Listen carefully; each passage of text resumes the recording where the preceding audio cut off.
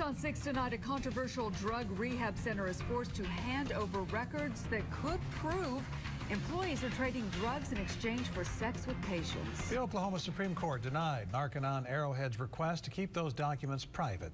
Tess Maune joins us now with the new details here at 10. Tess?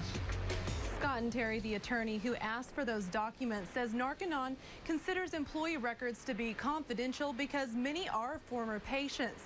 So the facility claims that releasing them would violate physician-patient privilege. But the records requested are only those related to employee misconduct.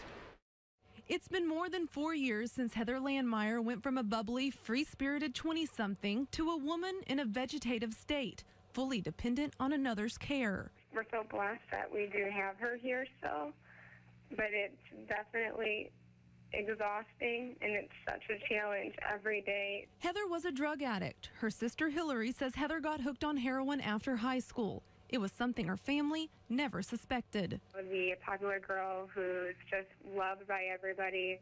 Um, you never think that she can have anything going wrong in her life. And she's, you know, it was her her little kept secret that she didn't tell anybody about. Heather went to Narconon Arrowhead to get help. It's a drug and alcohol rehab center near McAlester that treats with teachings inspired by the Church of Scientology. Heather tried treatment at Narconon three separate times.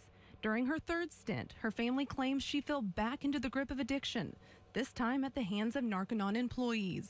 And it got to the point where she relapsed and had relapsed and was being provided drugs by these two different full-time staff members uh, in exchange for sex. Donnie Smolen, the family's attorney, says when Heather tested positive for drugs, she was kicked out of the program.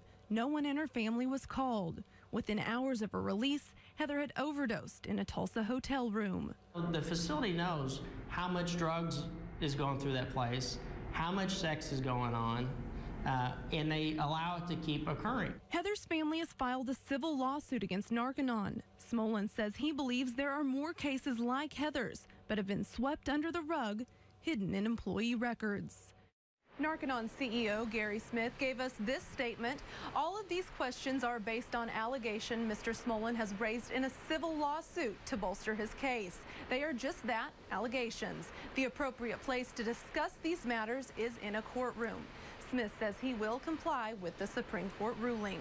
Tess Maune, News on 6 tonight.